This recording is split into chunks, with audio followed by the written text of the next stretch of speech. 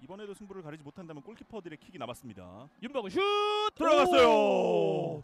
자 지금도 이범영 선수는 어떻게 보면 중앙 쪽을 네. 생- 김승대 김승대 슛.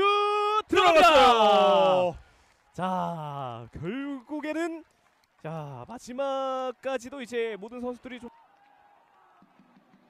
박정현 슛!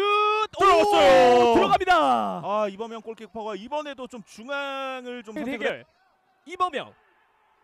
갑니다. 슛